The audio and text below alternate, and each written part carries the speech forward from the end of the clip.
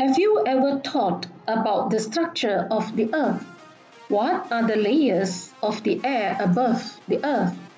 How is water on earth, such as oceans, rivers, clouds, and lakes, distributed? What are the earth layers and its composition? Why is earth suitable for living things? The earth systems consist of four main components which are interconnected, namely atmosphere, hydrosphere, biosphere, and geosphere. Let's learn one by one. Atmosphere is the air zone which covers the entire Earth's surface. It is essential to all life on Earth because it contains oxygen, which is the basic need for life, and carbon dioxide, which is essential for photosynthesis by green plants. Hydro means water. Hydrosphere is the water zone that includes rivers, lakes, seas, and also water trapped as ice, underground water, and water vapor in the atmosphere. About 71% of the Earth's surface is covered in water and the amount of water in the hydrosphere is maintained through the water cycle. Geo means Earth. Geosphere is the rock and soil zone on the Earth's surface.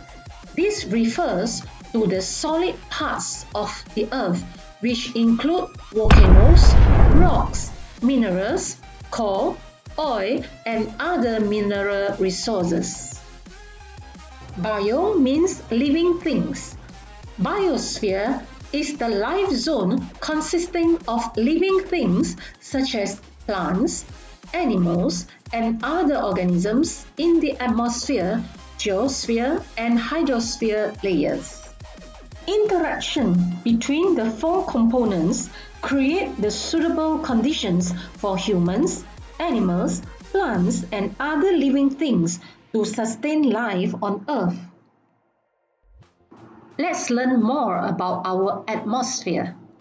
Atmosphere stratification shows how the atmosphere is divided into five different layers, namely troposphere, stratosphere, mesosphere, thermosphere, and exosphere.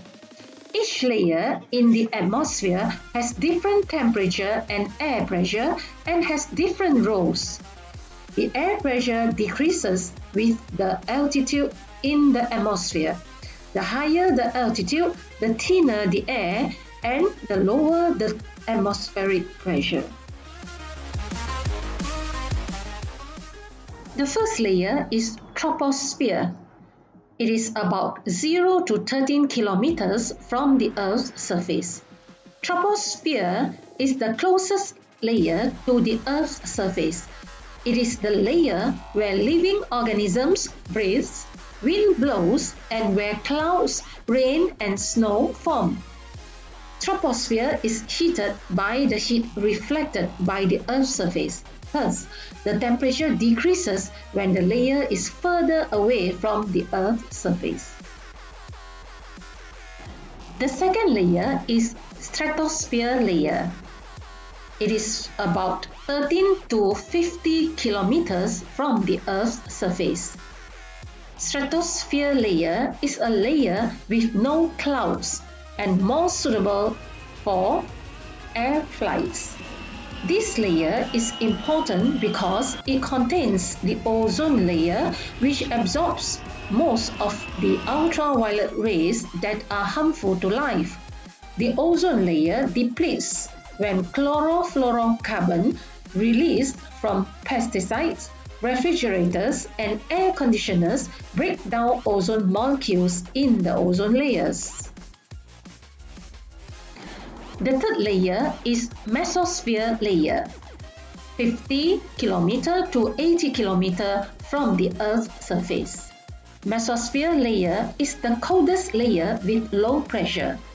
The temperature in this layer decreases with increasing altitude. The higher the altitude, the lower the temperature. Burning and destruction of meteoroids occurs in this layer. The fourth layer is thermosphere layer. It is from 80 to 480 kilometers from the Earth's surface. The temperature in this layer is very high as it receives much ultraviolet ray from the sun which is converted into heat. This layer is also known as ionosphere because it has charged gas particles. These charged gas particles are called ions and can reflect radio waves. Aurora a stream of colorful lights resulting from reactions of charged particles with Earth's magnetic field and atmospheric gases occurs here. The last layer is exosphere layer. It is 480 kilometers and above from the Earth's surface.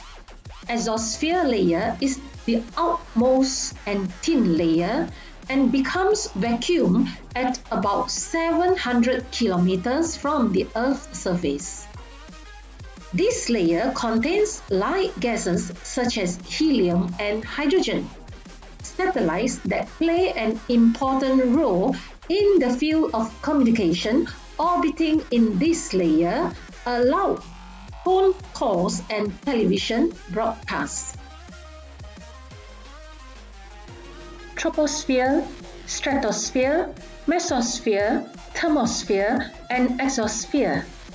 These five different layers provide protection and also make life possible. The atmosphere contains the air that we breathe, protects us from the harmful radiation of the sun, helps to keep the planet's heat on the surface, and plays a very important role in the water cycle. Let's take good care of it. That's all for today's lesson. Thank you.